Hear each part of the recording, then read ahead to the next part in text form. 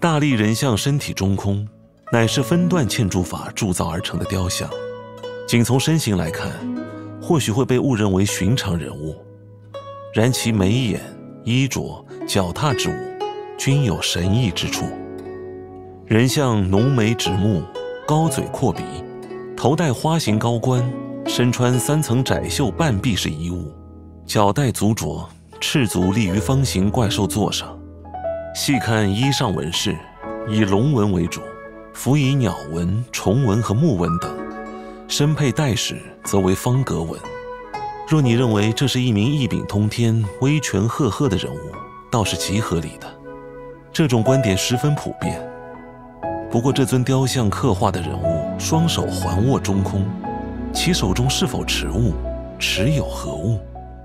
关于此点，却是众说纷纭，莫衷一是。